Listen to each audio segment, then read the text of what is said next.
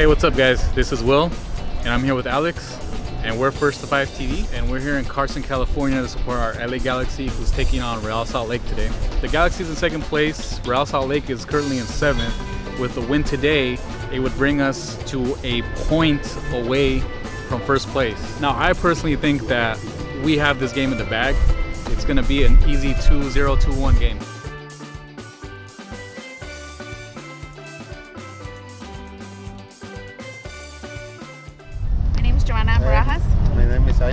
Galaxy win 2 2 1. 2-1? Yeah, 2 1. 2-1? That's yeah. We're gonna play the playoffs. Yeah. Make the playoffs? Uh, yeah. Go all the way, no? All the way. All right, that's right. Alfonso Salazar. I think we're winning 2-0.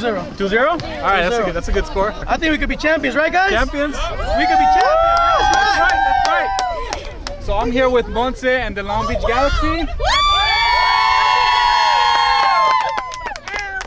And we're just trying to uh, what, what do you guys think the score is going to be tonight? I say three to one. Three to one. Anyone else?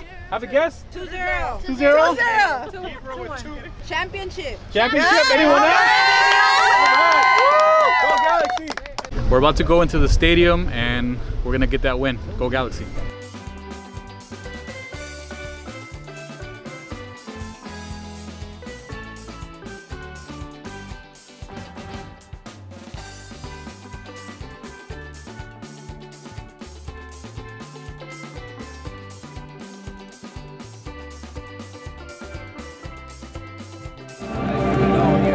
Galaxy.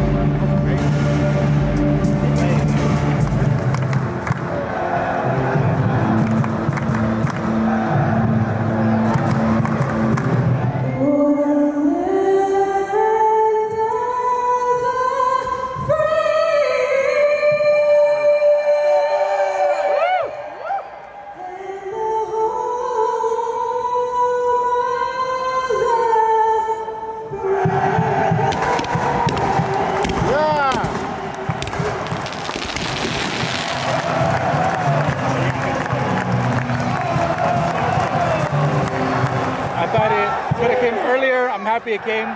Good play. But we're looking good. We're looking good.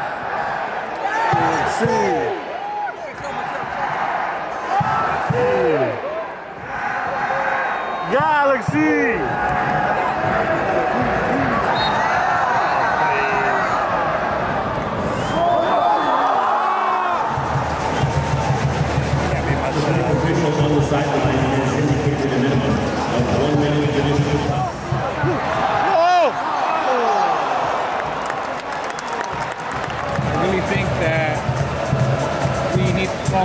definitely need to score more goals. And I think they're on the way. And this one's in the bag. Does our defense worry you? Um, they've been looking pretty solid, but at this point in time, they're kind of shaky. I don't know. I think they'll hold though. I think they'll hold. They're just, uh, they're playing the ball on our side a lot. But I think we'll be all right. Just gifted them a goal. Yep. Oh man, that was awful. That was awful. What happened? No reason. Ah, that shouldn't have been a goal. They gave it up. See, they were doing so good in defense, and now they just they gifted it.